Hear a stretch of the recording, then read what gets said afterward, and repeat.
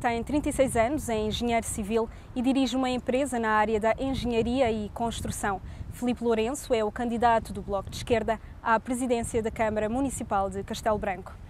Muito boa tarde. Boa tarde. Engenheiro Filipe, muito obrigada por ter aceito esta entrevista. Estamos nas Docas, que é aqui um espaço de lazer uh, central na cidade uhum. de Castelo Branco. Uh, Por que a escolha deste local para a sua entrevista? É, bom, é, não há uma razão propriamente específica para a escolha deste, deste local. Digamos que escolhemos este local é, porque se trata, antes de mais, pela, pelo facto de neste momento estar em causa aqui a construção de uma edificação contígua às docas, neste caso, eh, nomeadamente aqui o Centro de, de, de, eh, de Arte Contemporânea, eh, que, na nossa opinião, na, na opinião da nossa, nossa candidatura, é uma obra que, portanto, tem, que, que, nos causa, portanto, algumas, que nos causa algumas perguntas Quais? Uh, quais, enfim, uh, o porquê da obra, uh, enfim, dado que é uma obra de elevado custo, de elevado custo em tempos tão difíceis. Uhum. Não só pelo custo da obra, porque está a custar imenso dinheiro, mas também porque vai ser imenso uh, o custo da manutenção futura e mais até pelo custo da manutenção futura, porque o presidente que agora cessa funções irá deixar esse custo de manutenção futura para o, o, presidente que irá uh, iniciar uh, funções. Eu vou só interrompê-lo um pouco porque já lá vamos mais a essas questões Exatamente. de fundo eu queria explorar um pouco mais a sua candidatura. Exatamente. É candidato pelo Bloco de Esquerda, no uhum. entanto, no discurso de apresentação da sua candidatura, disse que esta era uma candidatura independente, uhum. porque, e passo a citar, tenho vida profissional própria. O que eu queria Exatamente. saber é, foi-lhe feito um convite por parte do partido e por que é que aceitou o desafio? Bom, aceitei o desafio porque hum, nós na vida hum, há determinados comboios que não os podemos hum, perder e este foi um dos comboios que eh, chegou à minha estação e que eu não pude perder uh, e tive que apanhá-lo. Digamos por, por essa essa foi foi uma das principais razões. É um grande é um grande desafio, de facto, esta esta esta etapa e portanto eh, por isso aceitei o desafio e aqui estou. É? Uhum. Portanto, é... Também no, discurso de apresentação da sua candidatura disse que esta assentava em três objetivos fundamentais. Uhum. Eu queria que me falasse de cada um deles e que fizéssemos aqui um exercício prático, para cada objetivo uma medida concreta. Uhum. Portanto, eu no, no, meu discurso de apresentação, de apresentação uh, portanto, indiquei como objetivos claros para para, para, para o, o seu futuro, programa, não é? o futuro. Uhum. É, portanto, a dinamização da economia local, porque me parece que a dinamização da economia local é, é o pilar fundamental para, é, para uma, um conselho é, se desenvolver. É, sem, enfim, sem um, uma economia local uh, pujante, não há uh, possivelmente uh, sustentabilidade que seja possível enquadrar-se no Conselho. daí haver a necessidade de, no futuro, a nossa política estar próxima dos empresários para que essa economia esteja cada vez mais estimulada e seja possível ir ao encontro das necessidades dos empresários. Por outro lado. Ou seja, estamos a falar de apoios, de incentivos aos empresários? Uh, não sou tanto a favor dos incentivos, mas sim de criar oportunidades, uh, de juntos uh, darmos as mãos e irmos ao encontro de, de, das oportunidades que existem sempre. nunca nos podemos esquecer que quando estamos perante as adversidades e as dificuldades, estamos perante também um mundo de oportunidades. E este é fundamentalmente o mundo em que há muitas oportunidades, porque estamos perante as adversidades. Hoje em dia, no mundo, mas também em Portugal, estamos perante um mundo de oportunidades. É preciso ir ao encontro delas. nesse tal programa, abordei também uh, a temática uh, da, da criação de emprego jovem. Criação de emprego jovem porquê? Porque esse é um flagelo, de facto, aqui no nosso Conselho. Uh, emprego jovem porque os jovens são o futuro do Conselho e do nosso país. Os jovens que serão, no futuro, aqueles que vão potenciar a maior riqueza do nosso Conselho e do nosso país e que por esses uh, deverá ser feito um maior esforço para que não lhes faltem as condições para que uh, a sustentabilidade deste Conselho esteja uh, de facto garantida. E uma medida concreta a propósito desse, desse tema? a primeira medida que acabámos de agora falar acaba por estar alicerçada também nesta segunda. Ou seja, a dinamização da economia local acaba por estar alicerçada nesta segunda medida. Porquê? Porque a dinamização da economia sem criação de, emprego, seja ele jovem ou não, eh, acaba por eh, não fazer o mínimo sentido. Portanto, uma e outra medida acabam por estar de mãos dadas. Eh, portanto, teremos que andar sempre na busca de criação de emprego e de dinamização da economia. Portanto, o que é que nós vamos ter que fazer? Vamos ter que criar condições para criar, enfim, condições às empresas para elas poderem também, por sua vez, criar emprego aos jovens que bem precisam. Acha que essas áreas de que me falou agora têm sido de alguma forma negligenciadas pelo atual executivo camarário? Ou seja, aquilo que para sem si sombra. são objetivos têm sido fracassos Não, para sem este sombra executivo? de dúvida.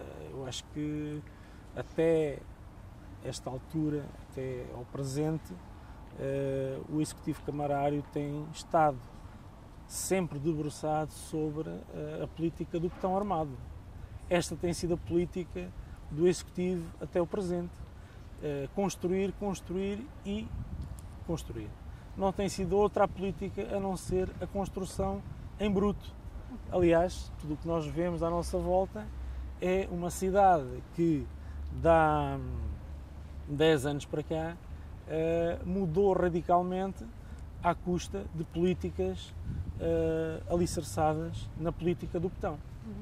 Para além dessas áreas económicas e, e de ação social de que me falou, uh, quais são as outras preocupações do Bloco de Esquerda uh, em outras áreas de intervenção, uh, urbanismo, lazer, Bom, a saúde. nossa a outra outra temática de que falei, outro pilar de que falei também no no meu na minha apresentação de candidatura foi uma ação também social que tinha a ver com o apoio aos idosos, o apoio aos idosos. Uh, porquê? Porque me parece que uh, neste caso em concreto, a nossa, a nossa eh, enfim, grande parte de população aqui a nível de Conselho é, extremamente envelhecida. É preciso dar, é preciso dar grande apoio esta percentagem da nossa, da nossa população.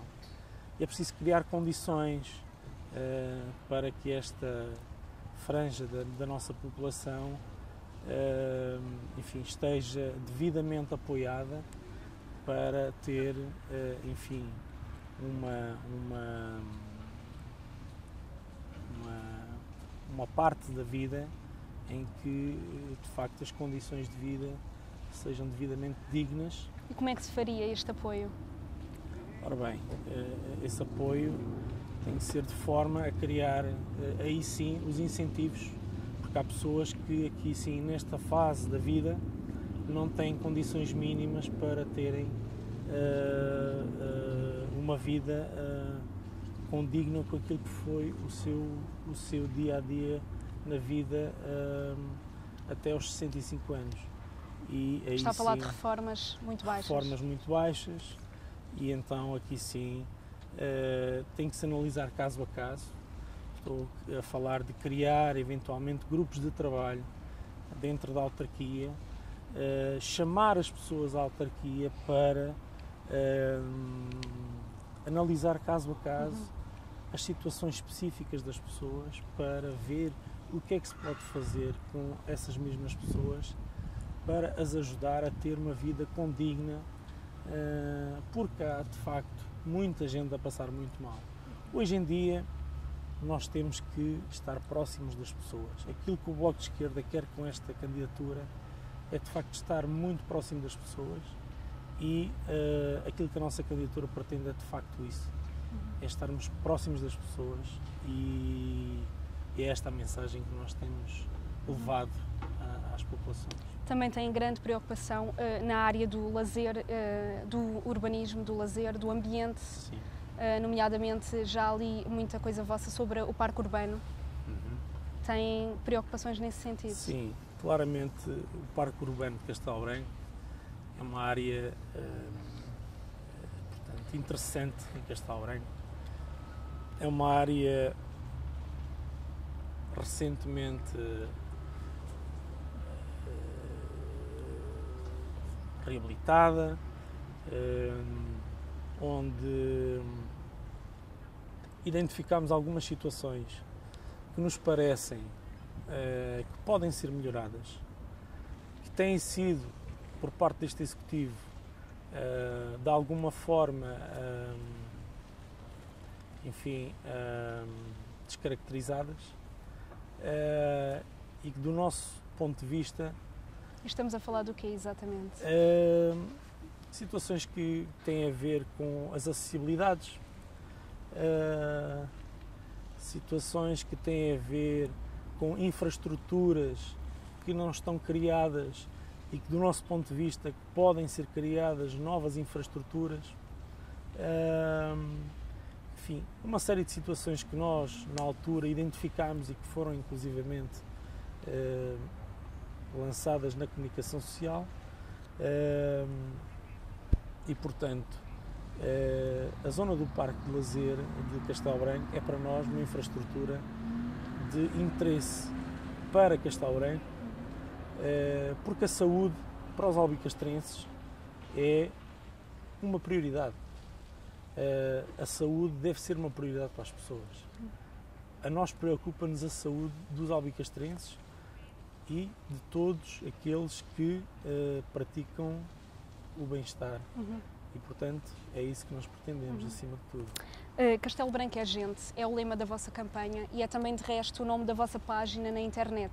Uma página em que vocês convidam os eleitores uh, a ajudarem-vos a elaborar o, o, vosso programa autárquico.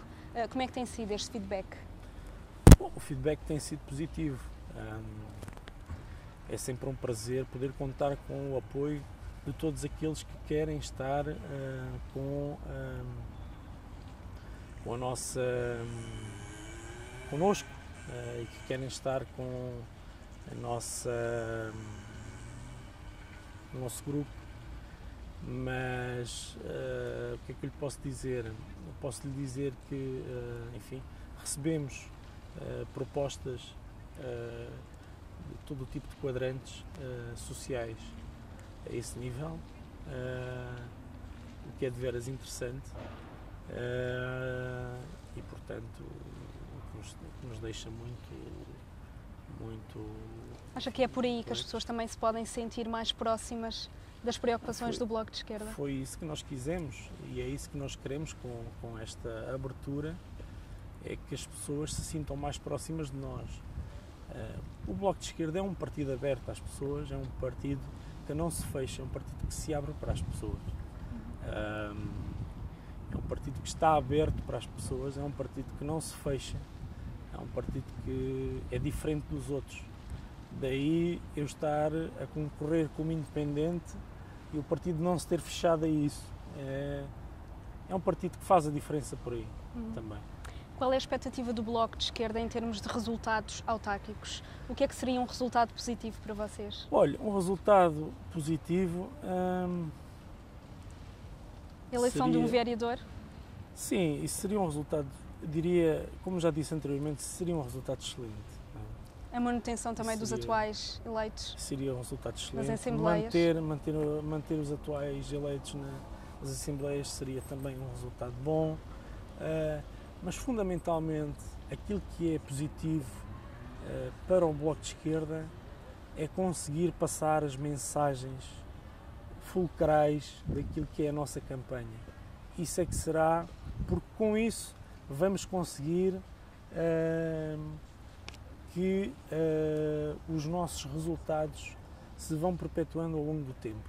Isso é que é fundamental para nós, porque o resultado que nós vamos alcançar nestas autárquicas eh, vai com certeza eh, ser mais daqui a outros quatro anos. Eh, portanto, nós não queremos com certeza conseguir algo agora, queremos conseguir mais, sempre mais, e portanto, isto é um resultado que nós vamos conseguindo alcançar. Somos um partido tem uma escala, enfim, tem a escala que tem. Eh, nós queremos, como é óbvio, alcançar sempre resultados, eh, outro, outro tipo de resultados, não é? Mas, eh, enfim, temos que trabalhar para isso e, Uhum. portanto, eh, estamos, estamos nesta senda, não é? A a nível geral, considera que a, a atual situação política a nível nacional pode traduzir-se no resultado das autárquicas? Como já disse um deputado do Partido Ecologista Os Verdes, elas podem tornar-se num instrumento de protesto contra o governo? Eh, Eu acredito que eh, a atual conjuntura política nacional eh, irá, neste caso particular, ser favorável ao Bloco de Esquerda. O Bloco de Esquerda assume-se nestas autárquicas como um dos partidos mais favorecidos para estas autárquicas. Mas também E os partidos que, que integram neste momento o governo, os prejudicados? Sim, mas não por, ser, mas não por serem os, os, os, os partidos que integram o governo. Também porque o Bloco de Esquerda tem sido um partido que tem trabalhado muito para ser hoje, ou seja, nestas autárquicas, não é por uma questão de. eh, Ou seja, não é por ser hoje, não é, é porque está a acontecer hoje, mas também porque o Bloco tem trabalhado para isso. Eh, o Bloco tem de facto trabalhado para que isto esteja a acontecer, eh, tem trabalhado bem, tem lutado muito e, portanto, conseguiu estar a um nível que eh, está com uma notoriedade muito, muito boa. E isso faz com que o Bloco de Esquerda, e neste caso as candidaturas do Bloco de Esquerda a nível nacional, nas autarquias por onde está a conotar-se, eh, estejam, penso eu, muito bem eh, colocadas.